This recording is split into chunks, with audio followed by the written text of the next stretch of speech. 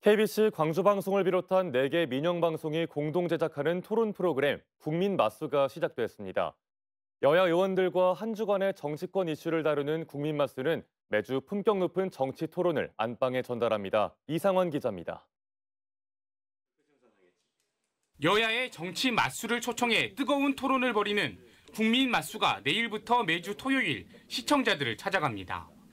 국민 맞수는 KBC 광주방송, TBC 대구방송, JIBS 제주방송, CJB 청주방송 등 4개 민영방송이 공동으로 제작하는 정치토론 프로그램입니다. 4개 민영방송이 서울에서 정치토론 프로그램을 제작하는 것은 이번이 처음입니다.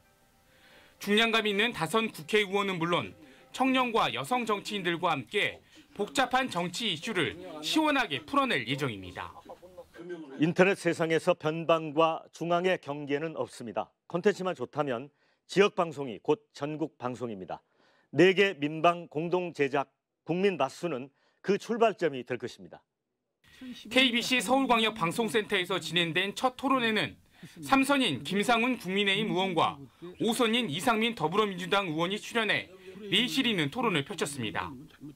윤석열 대통령 취임 1년 평가를 비롯해 한일 정상회담, 김남국 의원 코인 논란 등 다양한 주제를 심도 있게 다뤘습니다. 국정과제 입법을 298건이나 지금 발의를 해놨는데 제대로 통과를 시켜주지 않고 있어요. 그러니까 바뀐 정부의 여러 가지 개선 효과를 국민들이 체감하는 자체를 민주당에서 차단하고 있는 겁니다. 윤석열 대통령이 지금이라도 해야 되는 거는 선택사항이 아닙니다.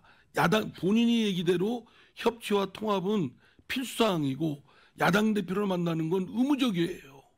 4개 민영방송의 새로운 정치 토론 프로그램 국민마수 첫 방송은 내일 아침 8시부터 1시간 동안 방영됩니다. KBC 이상환입니다.